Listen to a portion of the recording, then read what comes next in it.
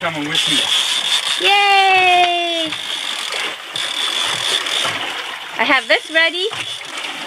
Hopefully we caught lunch. Remember how to do the Barracuda! Yay! A lot of people don't eat barracuda, but I do. I'm Asian, and I've eaten lots of barracudas in the Caribbean, and I'm still alive today. It's not a super big barracuda, and there's that one reef um, disease. I can't remember the name of it for some So, a lot of people don't eat barracuda because of ciguatera poisoning. I finally remember the name of that. Just set um, off from Beaver Reef there's some wind and it's supposed to be flat the next few days. So I thought maybe we'll just go to Cairns and yay, we caught another fish, barracuda. Great white fish. Slimy as ever. I've got to try and skin it now. Learning how to do all this. Naturist style. Don't cut your bit, bits and pieces. Yeah.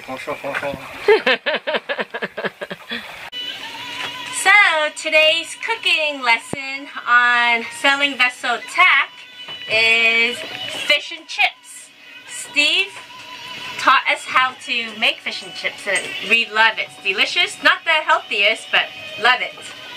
So Paul caught the barracuda today, so I sort of put it on chill on the, in the freezer. It's only been two hours, so it's not completely frozen. It's still cold. So what I do for the batter is flour and um, beer, but I couldn't find any beer because we don't really drink beer on board. So in lieu of beer, I did a, maybe one, one and a half to two teaspoons of yeast and water, a little bit hot water. And I never measure anything, so everything else you have to YouTube. So I might have one and a half, two cups of um, flour. So Paul likes this consistency Or thicker. or thicker. And we are doing chips, french fries, so I boiled this already. So it's a little smushy. I never get it right, so it's hit and miss.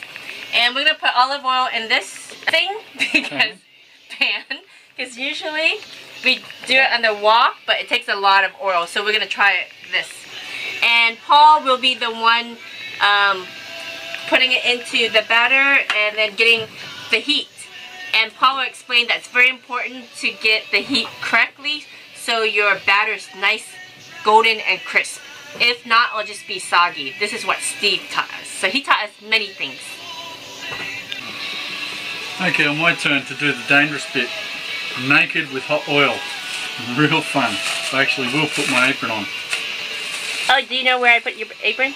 Down there. Yep, you told me. Anyhow, while it's fresh meat, I cut it into nice, easy size, batterable, and you know you get a good rounding of crispness on it. hmm We like that size. So, first thing is get the oil happening. Don't leave it unattended. The first time Christine did it was up at flash point, at uh, 220 something other degrees. Saying this won't boil. What's wrong? It was almost boiling. And the other thing is, our little thermometer, don't leave it unattended hanging out the side of the pot. As somebody I know does. 165 is what I was taught, and that seems 165 degrees. So 165 degrees Celsius. that seems to get it golden and crispy without the soggy centre. You know, um, and much over 175, you'll get burnt. See, I don't like to do the deep frying. It's scary. I've gotten splattered many times, so I don't like it. Paul's cooking the potatoes, sort of red shape. Look at the fish and chips. Looks delicious. But Paul wasn't happy with my batter. He wanted it thicker. So I added um, flour. Naturist. Yeah. okay. Sorry. Right. These are the first lot in. Four minutes is all it's taken. Four minutes. If ever you think you've got the oil too hot, before you add or take in, put in or take out stuff, turn the flame off. Bit of a pain, but it stops having a flash up. Look at how yummy that looks. Mm, whoa. Yeah, the sound of the Oh, and there's the chef's chef's special. Potatoes often bubble up worse than ever, so make sure you've got a fire blanket at hand or a, Oh, lid, or a lid ready to put on. We have a fire blanket under my potatoes, but When you put your batter, your mix in, just gently dunk it in beside the others and then maybe even take it out until it coats a little. If you just plop it straight in, it'll stick to the other pieces and then it's really hard to separate. But if you gently submerge each time and let it just get a little coating on it, then they won't stick to the pan and they won't stick to each other. That's good advice because I never did that before and it always stuck to the bottom and all the batter came out. This is looking good.